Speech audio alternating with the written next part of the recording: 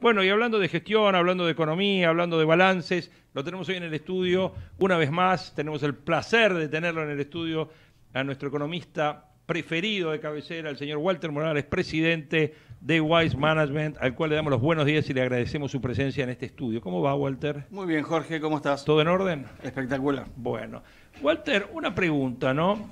Así al toquecito. Estamos en una semana que creo que fue una de las peores semanas en mucho tiempo de los mercados. Y hay una expectativa fuerte de, eh, a partir de la ratificación de la suba de tasas y de una mayor suba de tasas en el año que entramos, eh, hubo como una caída eh, en todos los mercados, jueves y viernes la semana pasada, y creo que venimos de cuatro semanas seguidas de caída en la bolsa de comercio en Estados Unidos, sobre todo los índices y las principales bolsas del mundo impactando eso fuertemente en el riesgo país. ¿Cuánto de nuestro riesgo país tiene que ver con la situación internacional, entre interpretás vos, y cuánto tiene que ver con el problema Argentina? Eh, yo creo que la gran mayoría es el problema Argentina. Hay que mirar solamente el riesgo país comparado con otros países de la TAM. Eh, el resto sube poco, el nuestro sube en una manera totalmente empinada. Y ahí afectan dos cuestiones. La, primera es la incertidumbre política. Hoy siguen cabeza a cabeza Cristina y, Mauricio, van a balotaje y en el balotaje hoy están cabeza a cabeza. Hay un alto porcentaje que no sabe, es un 20%, 22% el que no sabe a quién votaría. Es el ni ni, digamos, ni uno eh, ni el otro. Exactamente, que ahí donde se cola la baña siempre. eh, que según Dualde... ¿La baña, con sus 76 años tiene ganas de ser presidente de vuelta? No, no, según Dualde... Te digo porque es de tu barrio. Vos te No, no, el que es de mi barrio es... vecino eh, tuyo. Dualde es vecino Dualde, sí, sí. Bueno, se cocina ahí todo, ¿no? Se cocina ahí La política argentina... En la avenida Colombres. La política argentina hace años que se cocina en la avenida Colombres, ¿o no? Eh, ¿Sí o no? Sí. Sí, hace ah, años. y aparte, convengamos que muchos hablan de Durán Barba, pero ¿hay mejor jefe de campaña que Dualde? ¿El, el Tata Joffre? Bueno, seguí, dale. Lo puso a, a Néstor, ¿Lo puso a Néstor? Lo, puso a Menem. Seguro, eh, Todo, todo el que bendice gana. Y ahora, quiere, la, ahora quiere la baña. Y ahora quiere la baña. La baña lo que tiene a favor es sus 76 años, como vos marcás, eh, te asegura una no reelección. Con lo cual puede aglutinar a todo el PJ. Eh, si ahí sigue Cristina, no sigue Cristina, no sé. Si sigue el Frente de la Victoria, no sigue el Frente de la Victoria, no sé. Pero si el Frente de la Victoria sigue con alguien que no sea Cristina al frente, no junta más de 10 puntos de votos. Vos decís que Cristina no candidata, el frente, eh, la Unión Ciudadana, Unidad Ciudadana, junta menos de 10 puntos. Junta menos de 10 puntos. Eh, básicamente, a ver, eh, lo que estamos viendo últimamente en los partidos políticos, la gente vota candidatos, no vota, no vota ideas.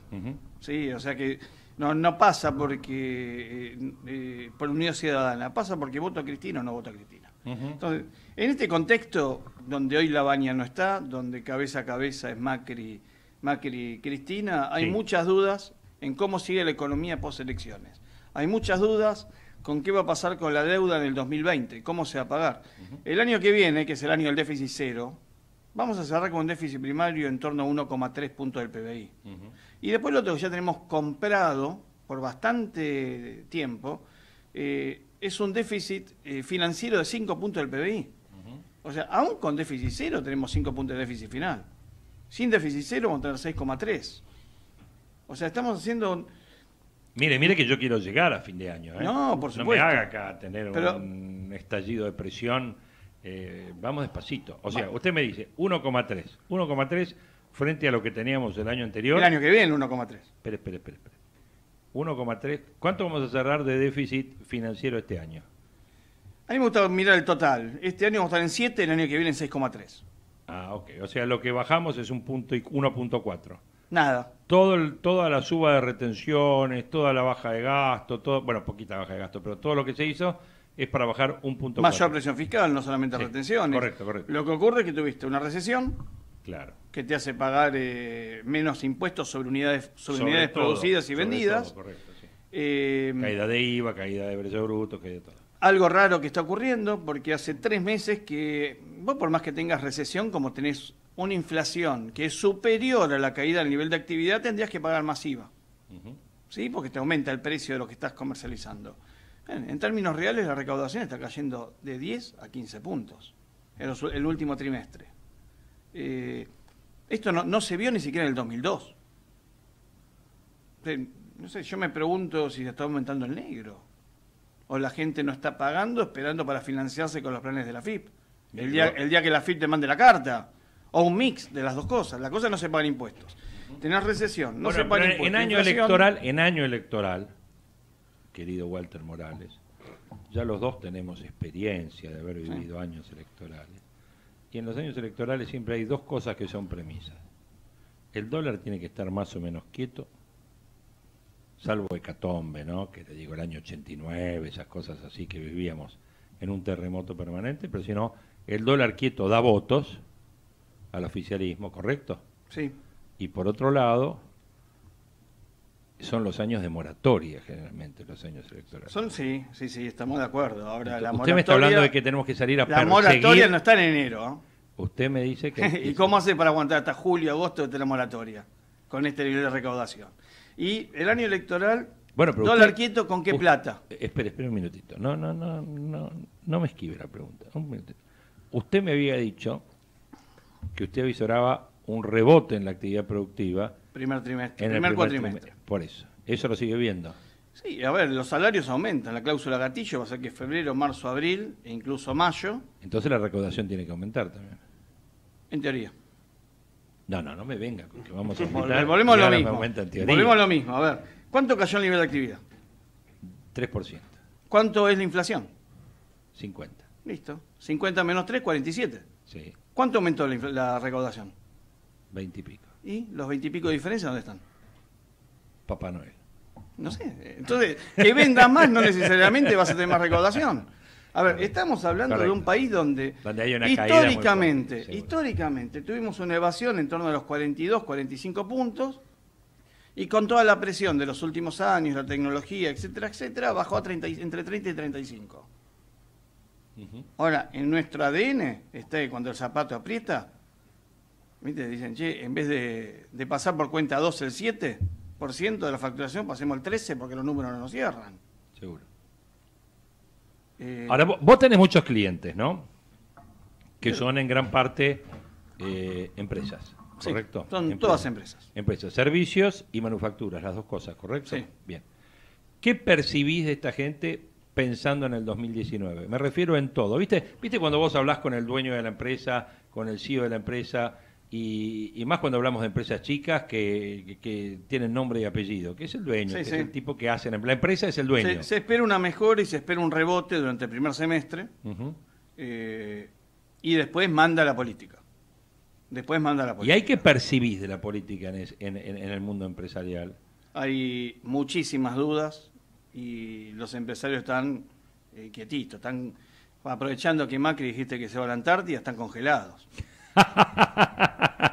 Pero, pero tengo una pregunta, pero están pensando más, están pensando más en que el gobierno puede llegar a venir con algún tipo de, de plan de ayuda que venga por el lado del Ministerio de la Producción, algún tipo de, porque ellos hicieron un gran pedido de baja de tasas, Sí, esto lo otro, Yo creo- o no esperan nada, A ver, eh, pedir van a pedir siempre, esperar van a esperar algo porque... porque es un año electoral.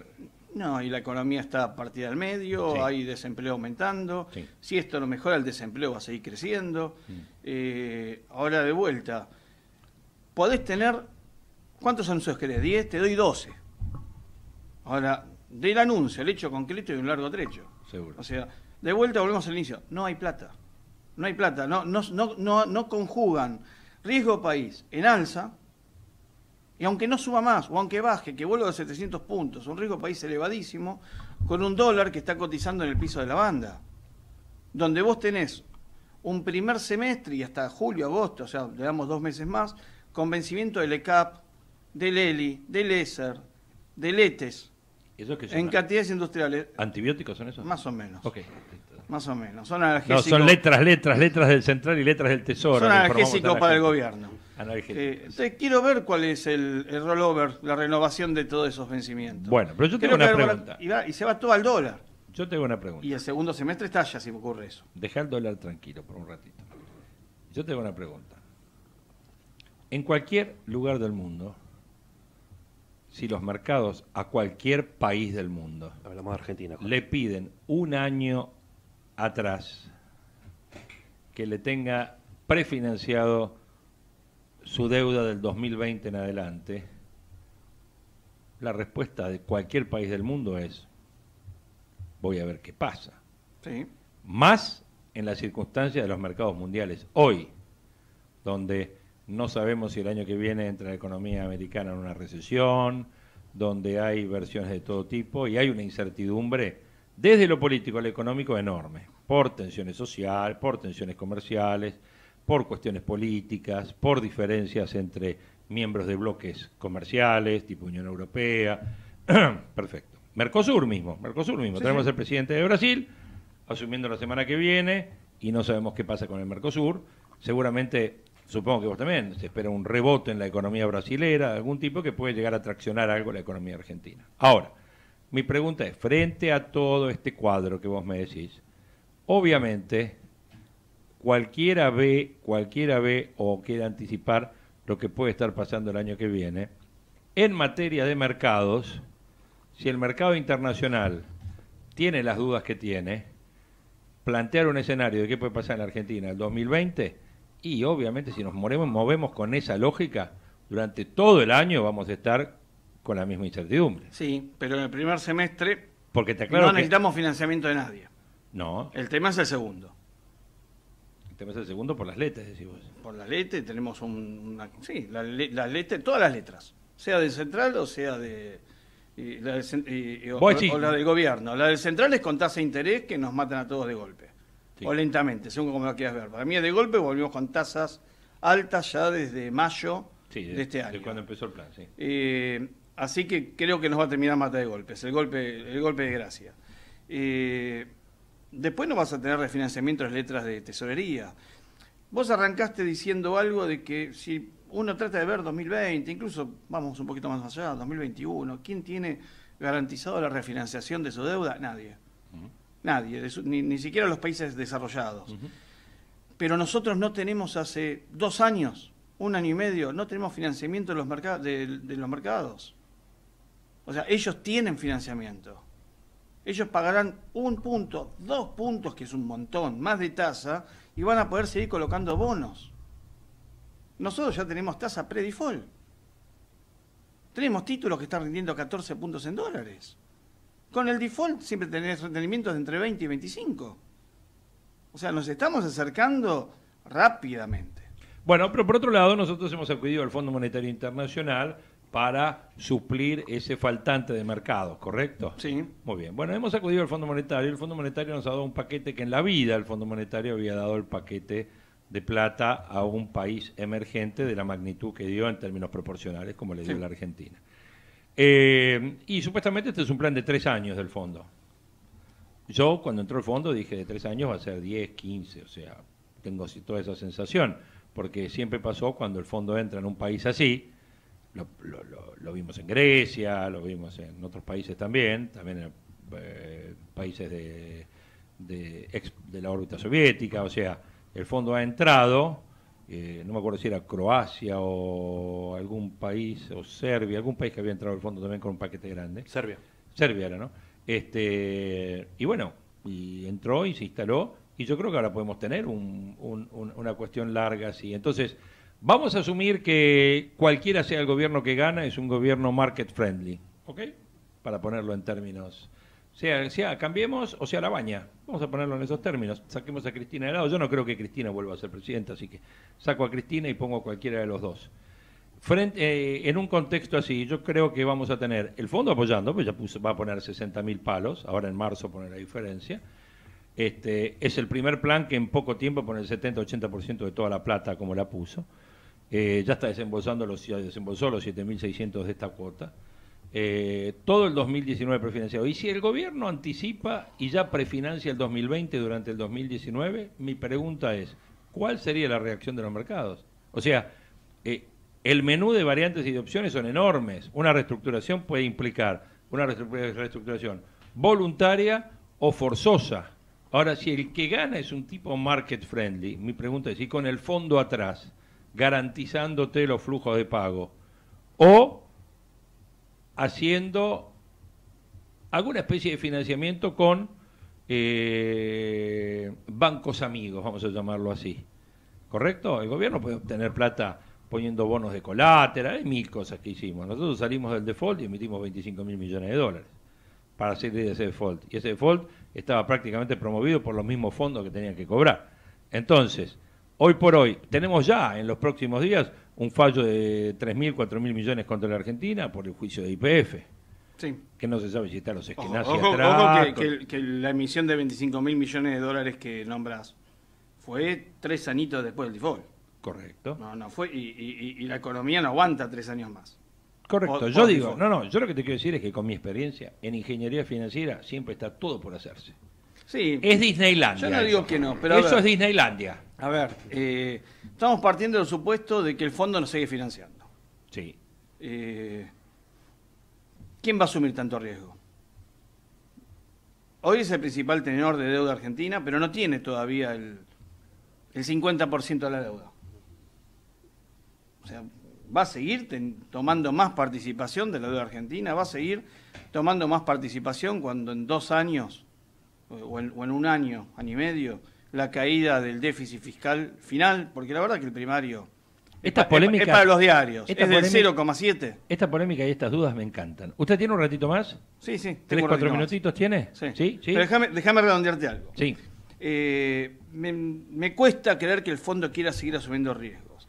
Después, eh, el fondo, en tu pensamiento, está sacando a Cristina. ¿Usted es creyente o no?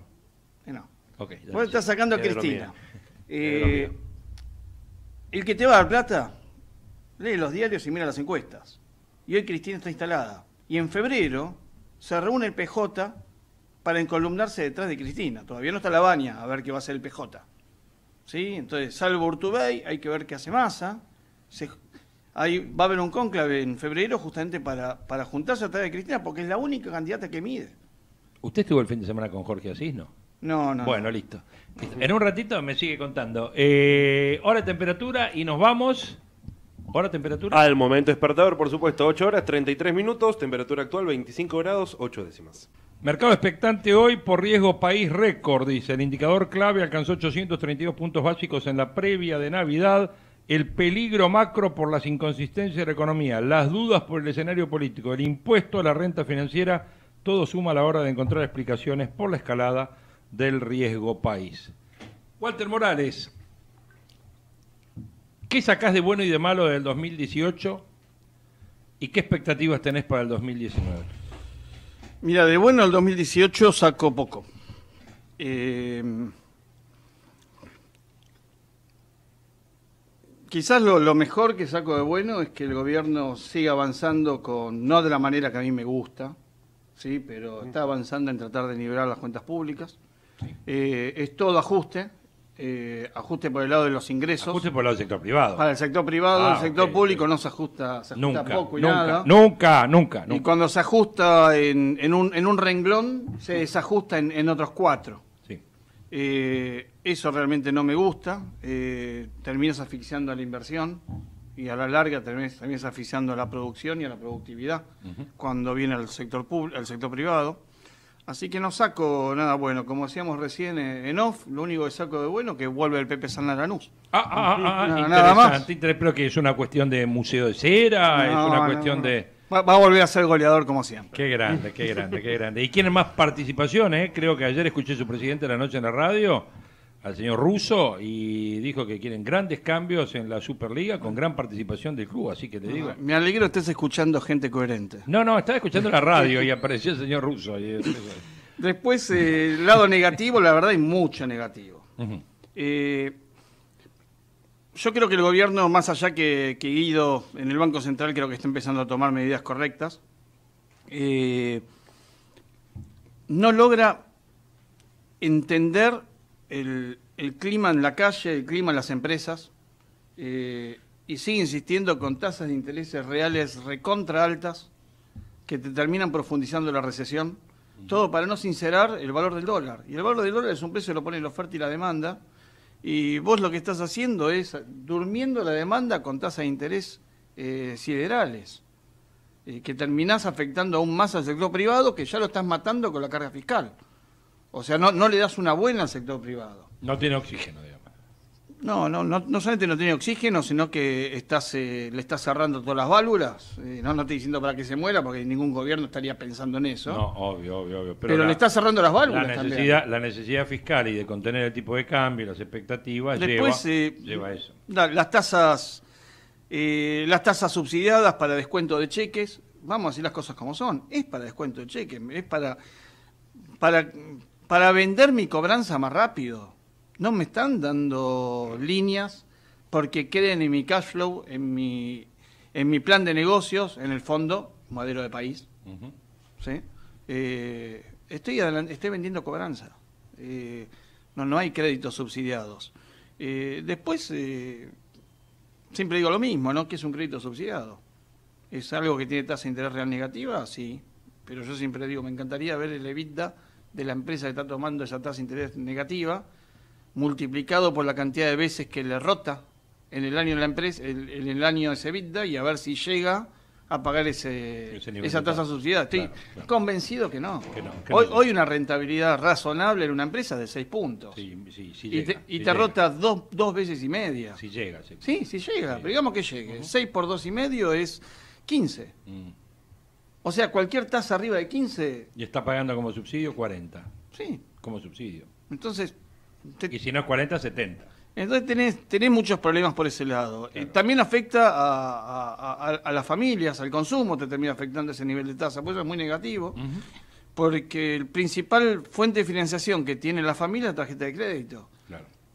Y se refinancia en el pago mínimo a tasas arriba del 100%. Sí, sí, sí, sí, sí, sí. Eh, Haciendo una pelota infernal. Entonces, eh, no le veo lado negativo, porque está sobreendeudando al sector privado el gobierno, y no solamente al sector privado productivo, también al sector privado consumidor. Eh, entonces, eh, obviamente, cuando esto crezca vas a tener un flor de rebote, pero porque vas a, nacer, va- vas a venir del quinto subsuelo, no desde una situación que estuvo flat eh, en el inicio. Eh, el FMI, la vuelta al Fondo Monetario, eh, ¿Es positivo? eh, es positiva como título, que estamos volvi- volvimos al mundo, esto fue algo que se vino gestando desde que asumió Macri el, el 10 de diciembre del 2015, se profundizó en el 2016, en el 2017 también, pero bueno, también hay que ser honestos y decir, fuimos al fondo por necesidad. El fondo es el, es el prestador Bueno, pero el de fondo última estaba ahí. instancia. Pero el fondo estaba ahí. Sí. Que con Cristina no estaba. Claro, pero a ver, Con pero, Cristina pero no estaba. pongamos las cosas en contexto. Con el Cristina fondo no es el estaba. no prestador estaba de última con- instancia. No estaba con Cristina. No, pero Ah. Cristina no quiso que esté, que es diferente. Está bien. Pero el fondo es el prestamista de última instancia. El fondo llegó porque nadie más nos daba plata. O sea, este es el problema del fondo. La desconfianza que vemos hoy es la misma desconfianza del segundo semestre del 2017. Ujú. Nada más que el tiempo va avanzando, se acercan las elecciones y el mercado lo que ve que los problemas de, de fondo, los problemas de base, que son todos fiscales, porque vos al mercado tenés que garantizar la sustentabilidad de la deuda. Te presto plata, seguramente me la devolvés, si no, no te presto. Eh, no está, esto, no, esto no está garantizado, no está asegurado. Eh, nadie te va a devolver plata con tu cash flow, Seguro. pero se espera que tu cash flow mejore de forma tal para que te sigan financiando. Bueno, pero puede ser que acá el fondo. Entremos en el 2019-2020. Sí, el túnel del terror. ¿Qué es lo que usted llama túnel del terror? Yo no. Usted lo acaba de decir, túnel del terror. Es la realidad. Fallece el crédito. amor, Traslada palabras de terceros. Ya falleció el crédito. Falleció el crédito. Ah, no. Lo estamos velando. Bien, la pregunta mía es, en esta cuestión, el 2019 sería como una especie de velatorio elongado. No, no necesariamente. A ver, si el 2019 arranca con una cesación de pagos, No. arranques abril. Sí. ¿sí? Primero hay, hay cuestiones políticas. Sí. Si, si gana la baña hay que ver eh, sus pasos a seguir. Yo quiero hacer algo similar a, ¿A usted le pagó a Macri. la baña algo? No, no, para nada. Es más, yo soy totalmente apolítico.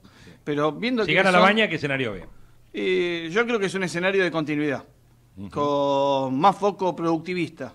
Pero con continuidad en buscar la salud de las cuentas públicas. Eh, sin romper lazos con los, con, con los inversores y mucho menos con el Fondo Monetario. Eh, con Cristina, eh, no sé, al menos que Ri- Cristina se convierta en un Néstor, que Imposible, tiene una imposible. retórica de izquierda pero opera por centro de derecha, va a ser muy difícil que quiera continuar con el Fondo Monetario.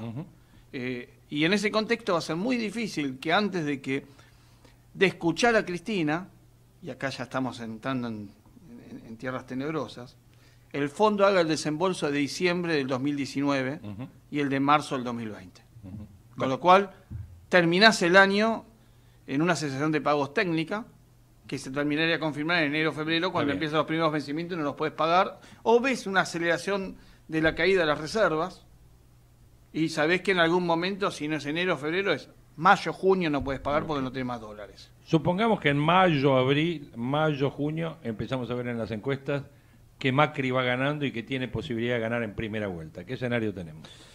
Tenés otro problema. Hoy las reservas libre de disponibilidad son de apenas 20 mil millones de dólares. Sí. Vos, Y- vos mirás y- la evolución de las digo- reservas ¿Y le pregunta? eh, y el mercado con ese número no confía. Si tenemos vencimientos de 25 mil millones de dólares anuales. Bueno, O sea, digo, los vencimientos superan a la reserva libre de disponibilidad. la O renovación sea, de los bonos en pesos se puede dar, ¿correcto? A ver, vamos a hablar eh, con, con los datos actuales. Sí. Hoy Sí. no se renueva el 100% la deuda No. local. Se renueva entre- 80. Sí, 80 y, y bajando a 70. Bueno, 70. Por, por incertidumbre. Sí. Y si sigue en incertidumbre va a seguir bajando a 60. Bueno. Entonces, todos los datos, cuando hablamos, no solamente eh, yo, también mis colegas, cuando hablamos que la necesidad de financiamiento se, van, se empieza a estabilizar en 25 mil millones de dólares, estamos suponiendo que se renueva la totalidad de la deuda local. Yo le hago una pregunta. No, Y, ahí entonces es mayor. no me esquive la respuesta. Yo le hago una pregunta. Si en el mes de mayo, junio, las encuestas muestran que Macri es reelecto, Sí. ¿usted cree que el comportamiento del mercado sería el mismo? No, no. Eso Eh, le estoy preguntando. El mercado va a ser va, va a ser totalmente diferente, el riesgo va a empezar a bajar y yo personalmente voy a aprovechar dos semanas antes de las elecciones para vender bonos. Ok, muy bien. Listo. ¿Fui claro? Perfecto. eh, 8 y 49. No te gustó la última parte, ¿no? Wal- me encantó. Walter Morales, muchas gracias por tu presencia, por tu presencia, por toda tu explicación y aporte este año al programa. Sabe rematar, ¿eh? de mucha Sabe titular. utilidad. Es un capo, es un capo, es un capo. Este, y te deseo lo mejor para el 2019. Muchas gracias, igual para, para ustedes, para la audiencia, por un gran 2019 y a exprimir las neuronas que ¿Qué nos va, a ser, falta. que va a ser necesaria? Nos va a hacer falta. Dale, buenísimo. Así pasaba Walter Morales por proyecciones. Hoy, eh, en un día especial, bueno, un eh, miércoles posterior a las fiestas, posterior a la Navidad, que todo el mundo siempre para arrancar cuesta un poquito, nos pareció que lo mejor para despertarlo rápido era tenerlo a Walter Morales tempranito.